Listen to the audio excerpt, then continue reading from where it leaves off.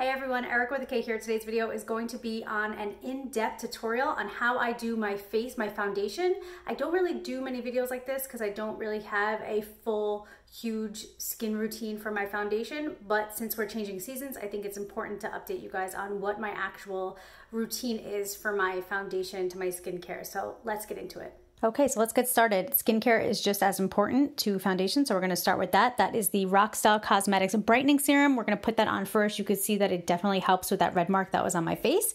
Then we're gonna go in with the ROXDOLL Cosmetics Complexion Cream. I use both of these all season long. They're amazing, really great for dry skin and uh, sensitive skin, acne, literally just really great. Eczema, very, very good. Um, I use them all year round, as I had said, and that's always how I start my routine. So once we're done with our skincare, which is that, that's it. It's a two step. That's literally it. I go in with the Australian Gold tinted moisturizer. This I do in replace of foundation and it is in deep dark. It also has SPF, I believe it's 50. So it gives me my sun protection all year round, which is important even on like cloudy days, even on overcast days, you still need SPF and this has it. I use deep dark because I'd rather it be a little bit dark for me and I could change it up with my concealer than it be too light and I look like Pee Wee Herman because that is what happens when it's too light. Make sure you blend a tinted moisturizer really well, especially if it's a darker color, because you want to make sure that you don't have any harsh lines anywhere. This is it for foundation. We're not putting anything on top of this in regards to foundation. This is really great for mature skin, um, anybody who has wrinkles, anybody who just has a hard time getting used to liquid foundation, cream foundation, powder foundation, tinted moisturizer is the way to go. It's so lightweight. Then we're going to go in with concealer and I'm going to put this on with a beauty blender.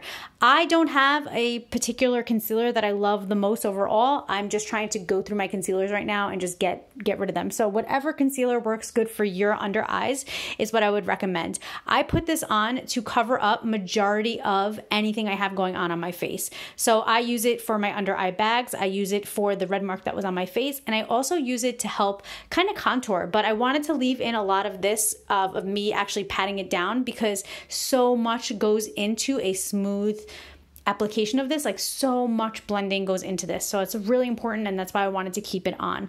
Um, as I had said, I go under my eyes. You've definitely seen me do that before in a video. You probably never saw me put it on these spots. So I put it on my lip, I put it on my forehead, and then I also go down like the T-zone, the T-line, like the T-line over there, or the T-zone.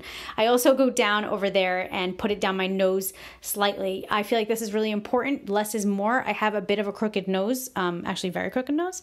And so this helps out my nose um, by putting it just very lightly in the middle of you know the upper part of my nose. It just kind of reflects light and i just think it's better. But again blending is really important. Less is more. You could always add more later. Then i go in with the rcma setting powder with the same beauty blender. This is from real techniques and it's the no color loose powder and i literally bake the crap out of my face. Um, not everybody likes to do this especially if you have like dry skin. You might not want to do this but if you like the way my makeup looks and you feel like you know whatever this is what i do. So that's what i do then I also go up the sides of my nose. As I had said, my nose is crooked and I want to make sure that I give my nose the best chance I can. So I go back in with the um, RMCA setting powder. I redip and put more on. And I let that bake on my nose, on my face, on everything. I mean, just look at when I do this, you can see what a difference it makes on my nose. You can see that I have a very bulbous tip, and then you can also see that it is definitely crooked to one side. And just putting the setting powder on it, for me, I think it helps without overcomplicating it and making it look more crooked.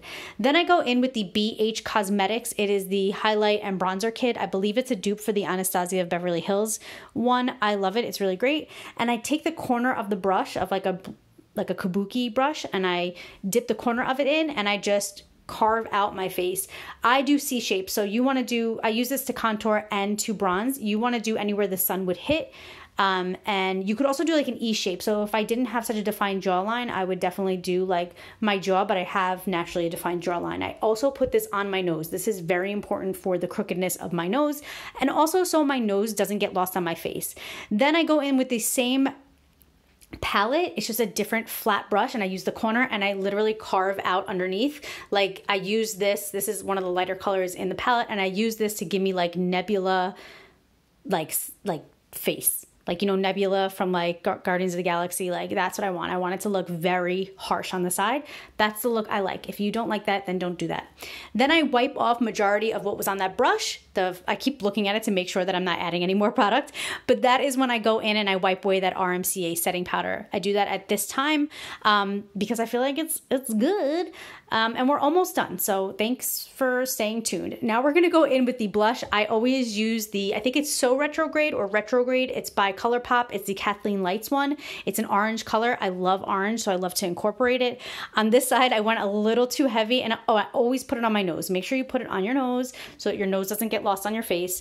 Um, and that's kind of like the extent of it. Then I'm gonna go back in with that kabuki brush that I use and I'm just gonna blend out because I put way too much on. So this step is if you put too much blush on, that's what you do. This is the end result. I hope you like it. Don't forget to like and subscribe.